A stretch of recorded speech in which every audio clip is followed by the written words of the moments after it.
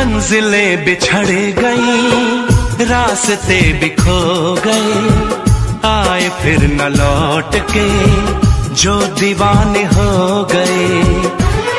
बेकरार नहीं करना, इंतज़ार नहीं करना। हद से भी ज़्यादा तुम किसी से प्यार